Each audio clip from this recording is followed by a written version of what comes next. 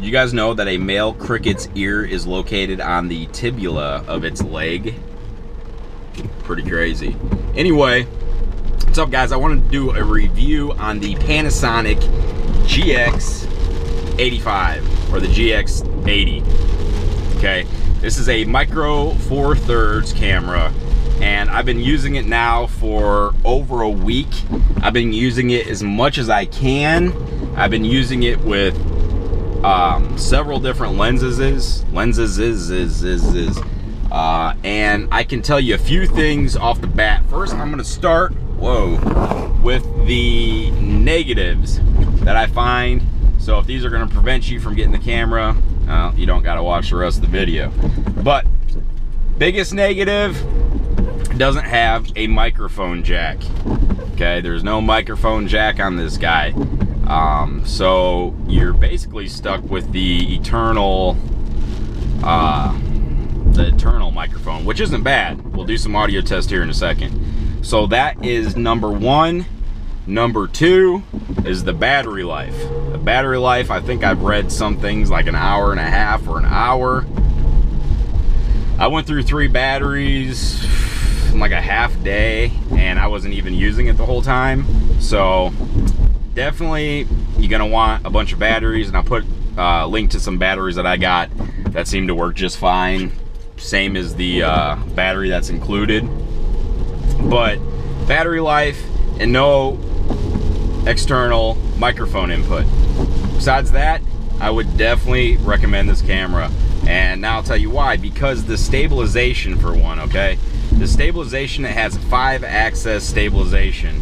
Um, and then there's also, Panasonic has a whole line of lenses for micro four thirds for their uh, G series lineup. Now, uh, well, the camera keeps sliding here. It's kind of raining, but what we're doing, we're driving down to the river. I have the kit lens on here. This kit lens is 12 to 32, and this this specific one has built-in stabilization as well. So there's five axis stabilization in the actual body, and then there's two axis stabilization in the Panasonic lenses. And this is one of them. Real quick, let me just show you what I'm talking about. This is handheld with the GX85. Now I've switched lenses to the GH4 and this is handheld. Big difference. Now, will the stabilization work with other lenses? Say if you want to get an Olympus or a, uh, what are the mother knockoff ones? Whatever. Yes, it does. The answer is yes. They will. The stabilization is amazing, even with lenses that don't have stabilization in it. Now, the stabilization with the lenses that do work for it, hold on here real quick. I wanted to pull over and uh, there's like this crane I was driving by here earlier and I wanted to get kind of like a picture but probably should turn my hazards on.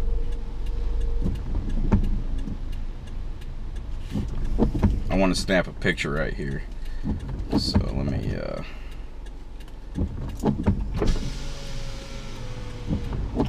let's see here.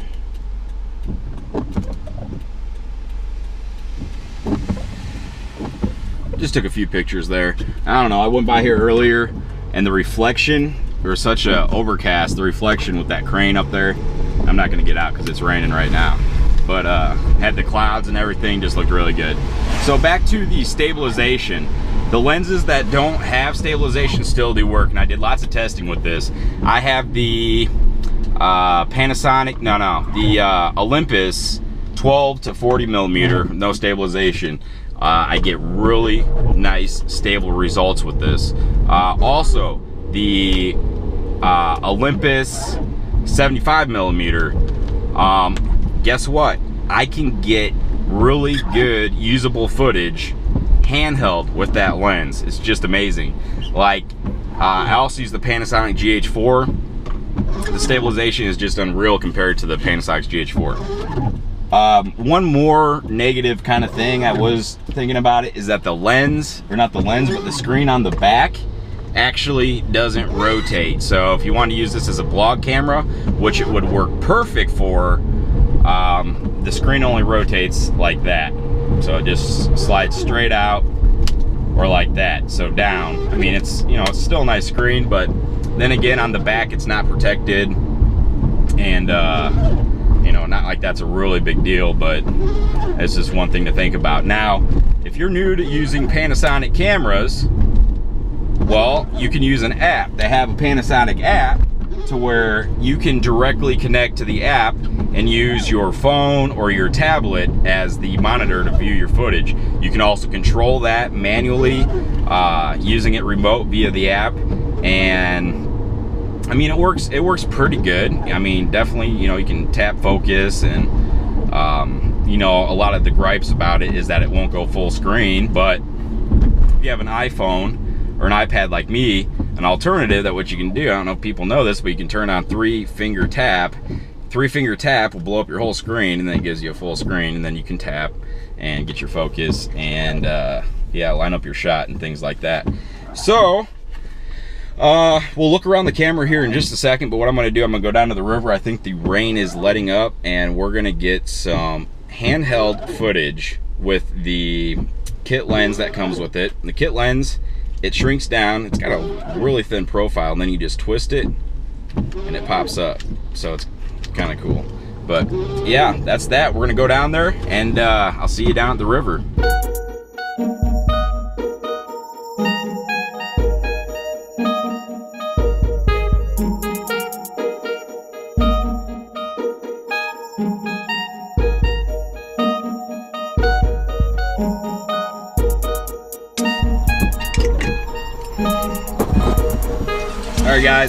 Made it down here to the river by the uh, lock and dam. Kinda got a bridge, nice overcast, clouds. Um, so what I'm gonna do, I'm just gonna walk around. I'm gonna do start doing some shooting with this. I'm gonna be mostly doing videos, but I will switch it over and take a couple pictures. Um, yeah, so let's go shoot.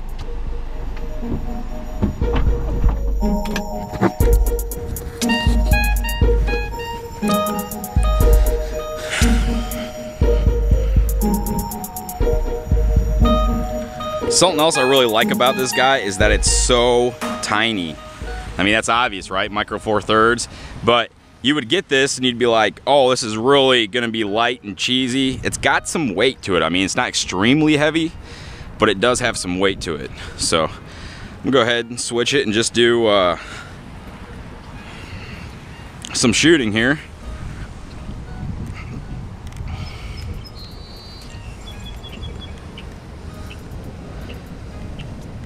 All right, and uh, yeah, this camera does shoot at in 4K.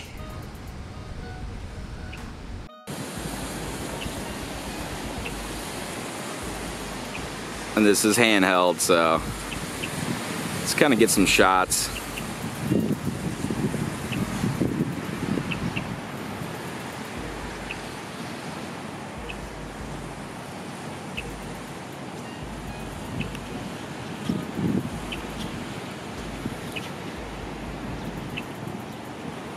So, yeah. Um, one thing I did want to mention, if I remember right, let's see here.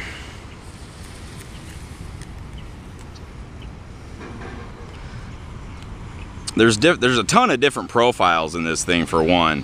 Um, like picture profiles, or I guess you could add a, oh, the pan, the panoramic is awesome. Let me do the panoramic real quick. I think that's a new feature my, uh, Okay, so in panoramic mode, it, it will, it does the settings for you, it must. So let's just take a picture and then you just go with the arrow. Oh yeah, that is so awesome.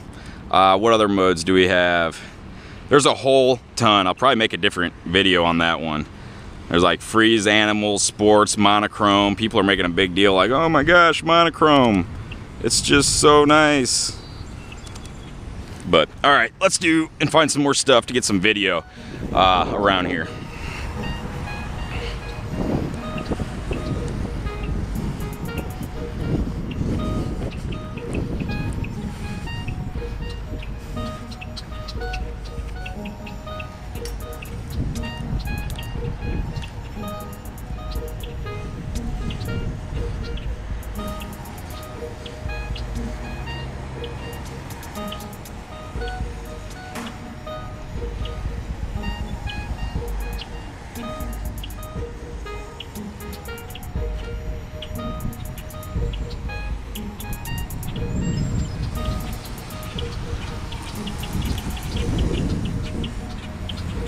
The focus is pretty quick.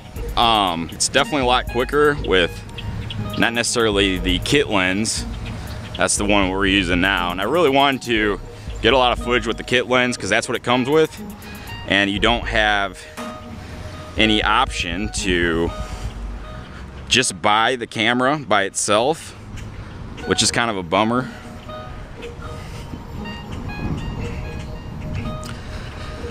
Get some uh,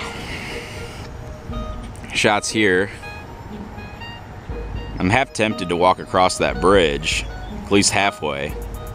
But here, let me just pretend I was a tripod here and do a pan.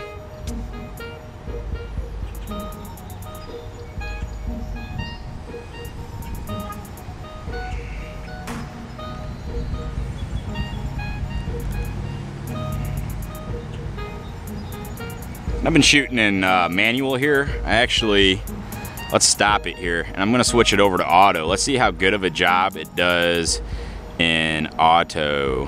Where is auto? I'm um, still learning where all uh, the menus and stuff is. So we can shoot where I set the aperture, shutter speed, or I do both. There's no straight. Where's the auto auto?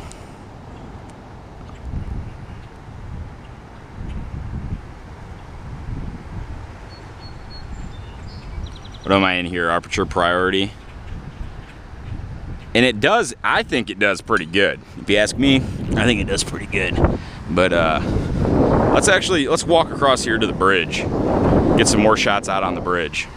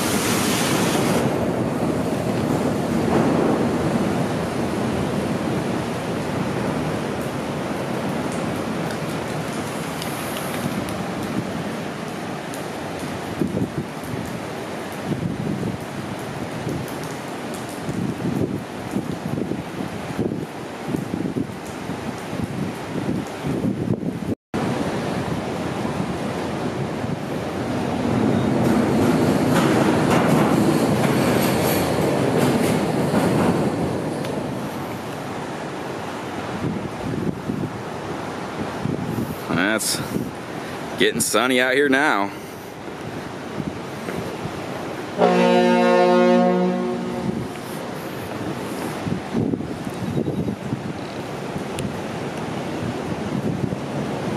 Look at that, my battery's already dying.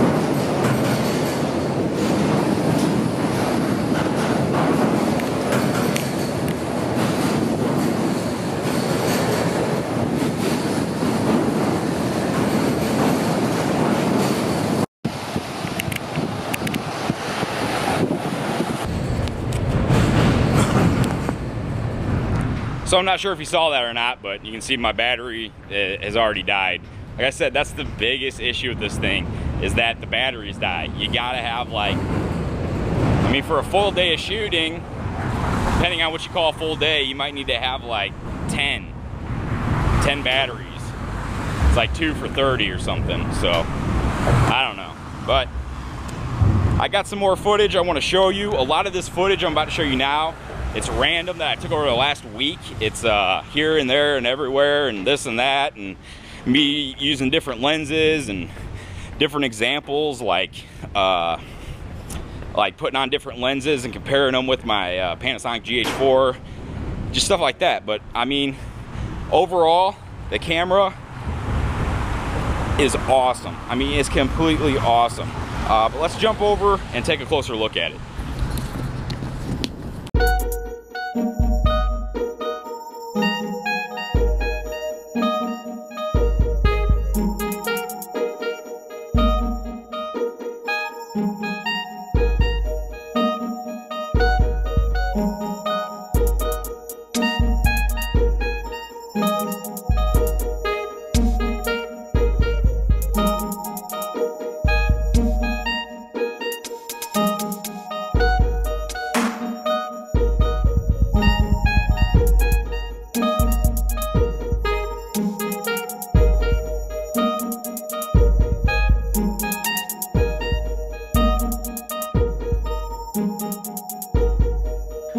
Guys, let's take a close look around this. I'm not going to go through every little detail. Uh, there's a lot in this little camera, um, but I'll just kind of show you around. The battery door is down here at the bottom. Just pops out, boom, and goes in. That's where the SD card goes to. So just pops in there like that. That closes. And there's a little tiny door here. Not really sure what that's for, but yeah, put the uh, door back on. On the side, we have HDMI out, and then we have a USB charging. So you charge this off USB. Otherwise, like I said, I got some batteries that came with the charger. I like to charge them that way. But if you were uh, to charge it, you can charge it via USB and you have an HDMI out, which is also pretty sweet. So you can hook this up to a TV and get, you know, live footage that way. The screen does that and does that and does that. Um, we have some buttons here, some FN, some FN2, shortcuts, garbage, display, ISO, white balance. Uh, I believe that's for like taking multiple pictures and that might be for graph. Um, uh, this is, we'll switch the view. Let's just go ahead turn it on here for a second. Now the first thing it asks me to do is just to uh, rotate the zoom ring.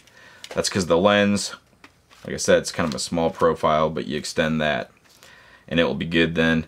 Um, this does shoot in 4K. Got the recording quality there um, at 100 megabits per second or 24K or 24K. Wow, I think I must be tired. 4K 24p, um, 60, 30 VGA, and let's go back here. It is touchscreen. Um, some of this stuff I might not think to say, but here's the exposure mode. One thing I, I really like that they do now is they put a description across the top so you can see which what the menus are for. But they have to you know I'll just kind of go through some of these. Um, the stabilizer you got the operation mode you turn that off. Because if you put this on a tripod you got the stabilization mode on you start to do a pan you'll get some uh, you know rivery watery looking shots uh, E-stabilization, you turn that off as well. And the focal length, when you put on certain lenses, it will allow you to set the focal length. Uh, but there's some lenses, I'm not sure if this is recognized, but this is, you know, it's the kit lens, so it, you know, it probably is recognized, but it just doesn't let me pick.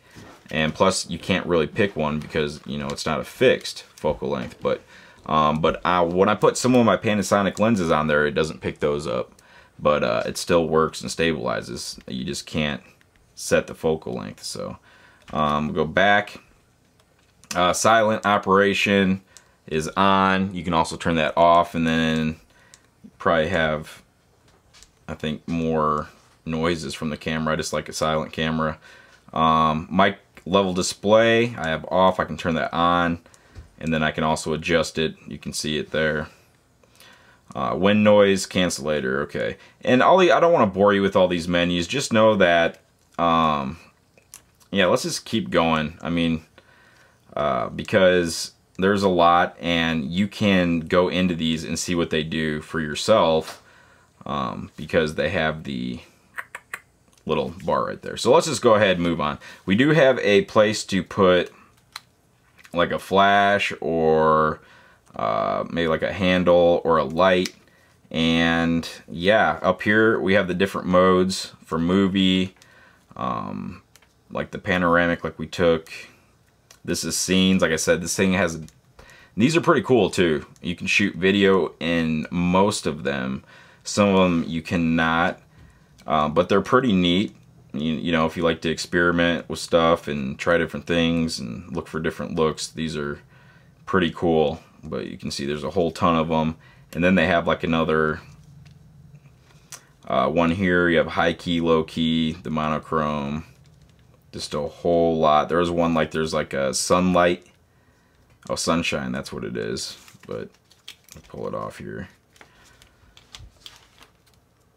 It puts like sunshine in the shot. So, I don't know. Whatever, there's a whole bunch of those and, you know, a lot of them are cool. So, not going to really go through all those either. So, um, when you're shooting, like manual, you got your um, shutter speed here, I believe. I better double check that because I'm still, I still get confused sometimes. So yeah, that's your your shutter speed. Then you have your aperture is here and they feel pretty good, you know, it's whatever. Um, yeah, overall, even, the, I mean, the cam feels, at first, I picked it up and I was like, holy cow, this thing is, it's tiny. It's super tiny, especially compared to, like, uh, my GH4. You know, there's a quick overhead view.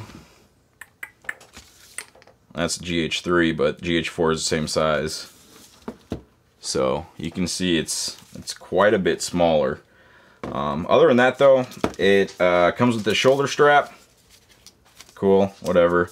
And a charging cord. And I think that's it. So this is what you get right here for, I think it's like right under $800.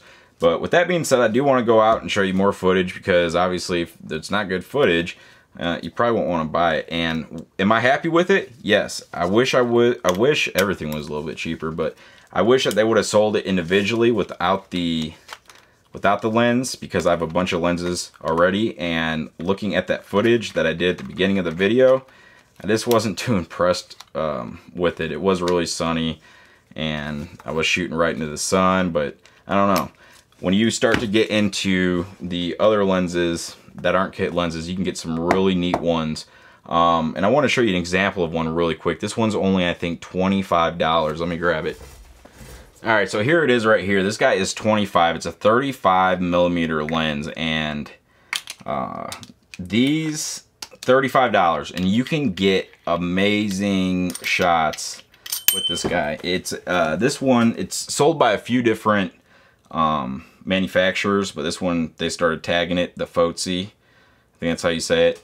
Uh, they started making basically their own. These used to be like put on security cameras, but then they just are like, wow, you can get some really amazing shots. This is a 35 millimeter f1.7 and here, I don't know if you can see that. It's just crazy. It comes with that little adapter. Slap it on the lens like that. Now this this uh, lens is manual. Now look, I turned it on right away. It says current focal length settings is 8 millimeter. Would I like to change? Yes, because this is a 35. So I'll switch it over to 35, press set, and boom, now I can shoot. But lenses like this, they're really cheap and they do some really awesome results. So if you want to get this one, you know, you know, you don't want to break the bank and buy something, uh, one of the Panny uh, lenses or something like that, then you can always get some of these and get some really good results that way. So that being said, let's uh, check out more of footage uh, that I've shot over the week.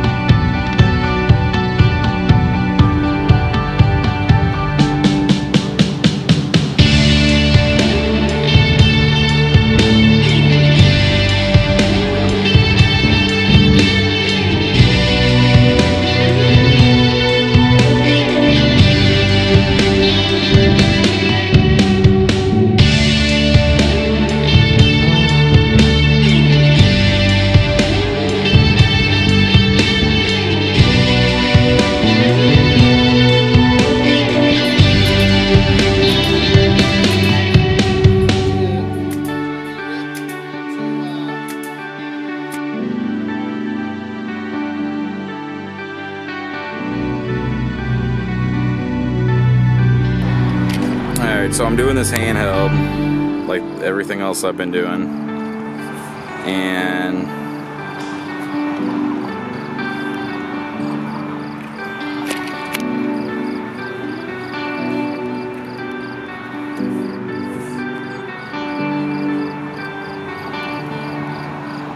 It's ISO 400, 800, 1600.